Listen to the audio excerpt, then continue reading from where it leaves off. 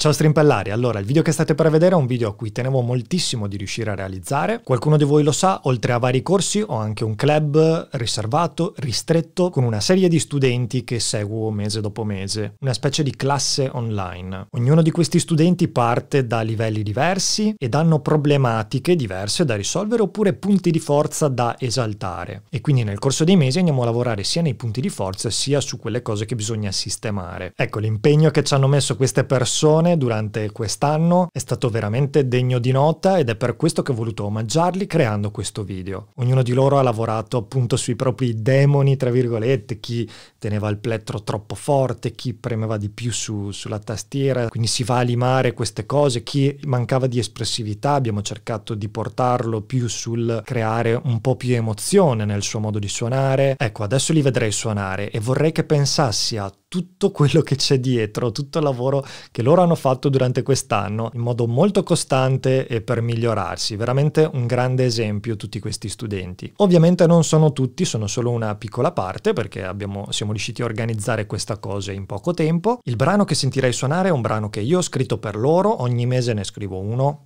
dove andiamo a lavorare su alcuni aspetti e se hai seguito la live di ieri sera è quello che ho suonato all'inizio della live e anche alla fine. Bene, quindi ho cercato di fare un arrangiamento e un collage video per mettere insieme le loro esecuzioni e spero che ti piaccia. Ricordati che il messaggio di questo video non è far vedere quanto uno è bravo, ma è eh, far capire quanto lavoro ci sta dietro al percorso di un chitarrista e spero che possa motivare molti di voi a persistere.